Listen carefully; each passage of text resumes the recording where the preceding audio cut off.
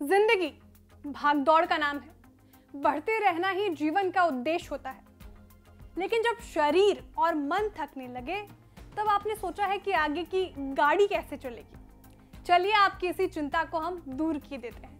नमस्कार, आप देख रहे हैं बिजमनी और मैं हूँ आपके साथ श्रेया ठाकुर। गारंटीड रिटर्न और टैक्स लाभ का फ़ायदा कौन नहीं उठाना चाहता?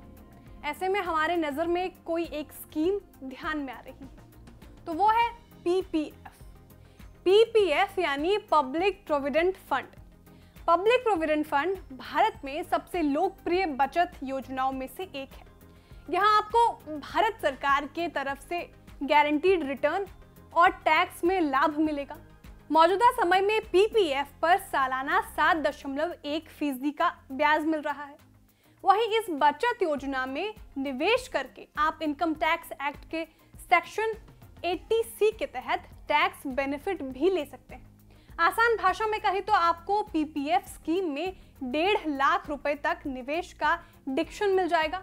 ऊपर से आपको पीपीएफ से कमाई गई ब्याज और मेचोरिटी की राशि पर कोई टैक्स भी नहीं देना पड़ेगा। अब पीपीएफ में कितना निवेश करना होगा, जिससे आपकी ज़िंदगी आसान हो जाए, इसके लिए आपको ये गणित समझना पड़ेगा। पीपीएफ अकाउंट खोलने के लिए कोई बड़ी रकम की ज़रूरत नहीं है। आप ये अकाउंट मात्र सौ रुपए से भी खुलवा सकते हैं।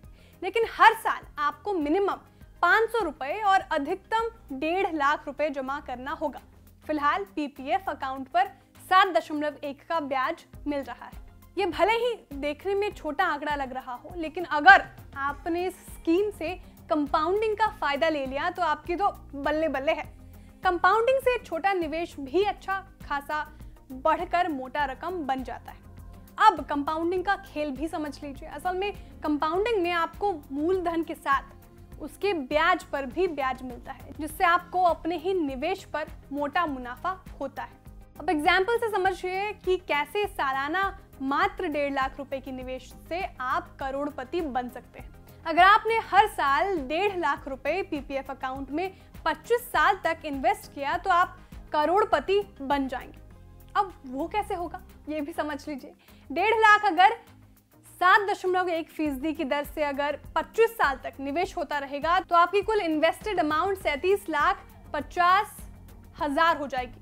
अब जानिए आपको इस पर कितना इंटरेस्ट मिलेगा।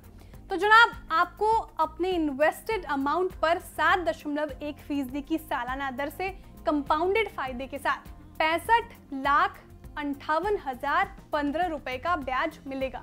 अब जैसे ही आपका मेच्योरिटी का समय आ जाएगा, यानी 25 साल पूरे हो जाएँगे तो आपको सैतीस लाख पचास हज़ार प्लस पैंसठ लाख अंठावन हज़ार पंद्रह रुपए, यानी पूरे एक करोड़ तीन लाख आठ हज़ार पंद्रह रुपए मिल जाएँगे। तो बन गए ना आप भी करोड़पति।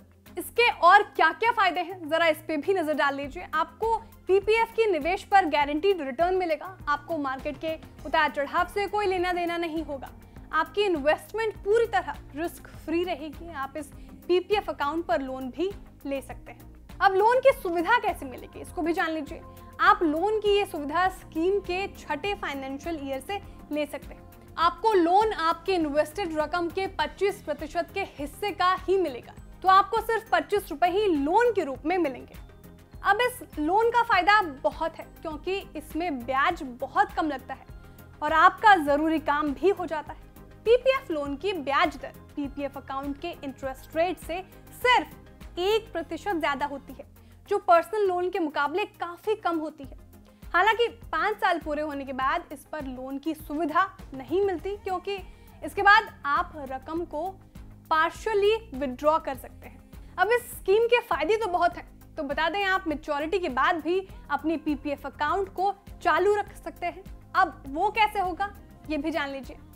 पीपीएफ अकाउंट 15 साल पर मेच्योर हो जाता है, लेकिन अगर आप इसमें कंपाउंडिंग का फ़ायदा और ज़्यादा समय तक उठाना चाहते हैं तो 15 साल के बाद भी आप इस अकाउंट को चालू रख सकते हैं।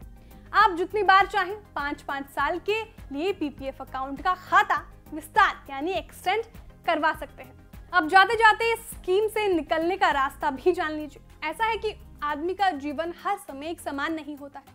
कभी कोई बीमारी या कोई आकस्मिक ज़रूरत पर पैसे की ज़रूरत पड़ जाती है। ऐसे में आप पीपीएफ अकाउंट से पैसा कैसे निकालेंगे, ये हम आपको बता देते हैं। अगर आपके बच्चे बीमार हो जाएँ तो ऐसी स्थिति में आप पाँच साल बाद पीपीएफ अकाउंट में जमा रकम को निकाल सकते हैं। ऐसी स्थिति में आपकी जमा राशि की ब्याज दर में से सिर्फ़ एक फ़ीसदी की कटौती कर ली जाएगी और आपको अपना पूरा पैसा वापस मिल जाएगा।